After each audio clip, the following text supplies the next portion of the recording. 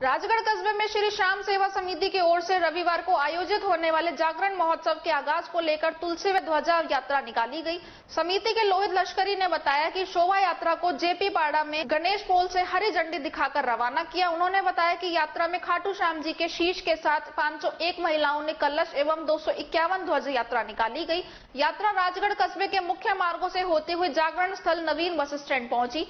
शोभा यात्रा के साथ शनिवार से दो दिवसीय कार्यक्रम का आगाज़ हुआ। मीडिया प्रभारी सुनेंद्र चौहान ने बताया कि रविवार को बाबा का विशाल एवं भव्य जागरण किया जाएगा।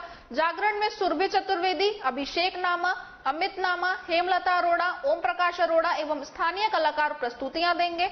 शोभा यात्रा के दौरान संजय खंडेलवाल, जगदीश सैनी, आर्य भट्ट, पंकज गुप्ता, यशवंत गोयल, विकास विजय राकेश खंडेलवाल नवीन अटोलिया दीनदयाल बंसल समिति सदस्य आदि उपस्थित रहे।